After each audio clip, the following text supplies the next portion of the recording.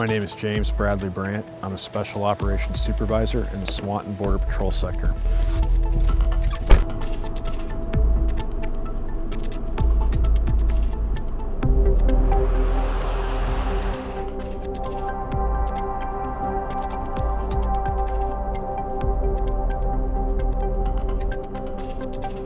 Okay, so this is exit 22. It's the final exit on Interstate 89 before you enter Canada.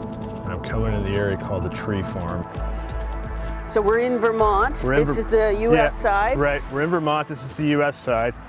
Um, if we walk down a little bit, you can see the port of entry, or we can walk up here. And we call this area the Tree Farm in Swanton. And we do see a lot of traffic here. That's why the agent was waiting. It's a good spot to sneak into the U.S. because somebody can be dropped off in Canada, enter these woods, walk out while somebody else drives through the port of entry and just picks them up over here. We've intercepted a lot of groups or a lot of loads, smuggling loads, where people were being smuggled north at the same time people were being smuggled south. So there's guides, people that know this area know it really well and have been smuggling up here is smuggling's their career.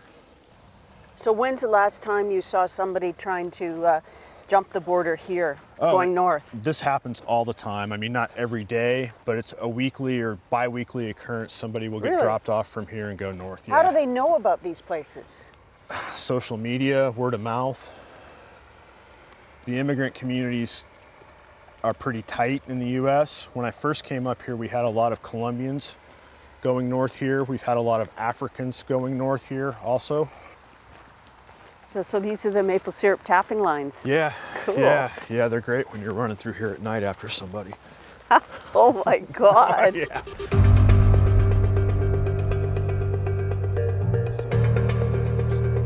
This open area you see, this looks like a meadow.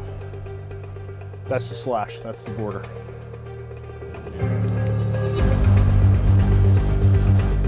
So this is another spot? There's the slash again. Where? See that gap in the trees? Oh yeah. That's the slash. This is the It's kind of hard to tell. This is an international border right, right, here. yeah, yeah. See the horses go back and forth all the time. But there's a hardball. They're hardball. dual citizens, those horses. But there's a hardball road that comes right up to here. So this is a Canadian house? That house is in Canada. There's the border monument right there.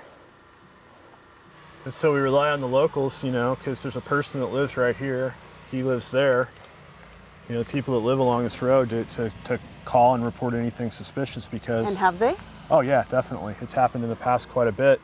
If something's going north and they report it, we call the RCMP and the RCMP comes here and deals with it. They're, they're our partners. It's Canada's border too.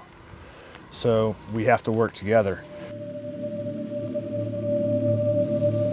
Yeah. So where are we here? Okay, so this is the line room.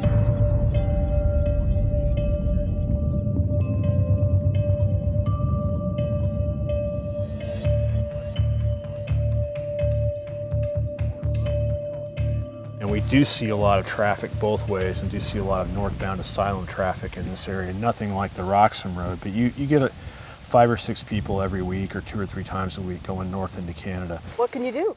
We can't do anything because most of the people that are doing it are, are have legal status in the U.S. They'll actually take a taxi to this location and then cross into the U.S.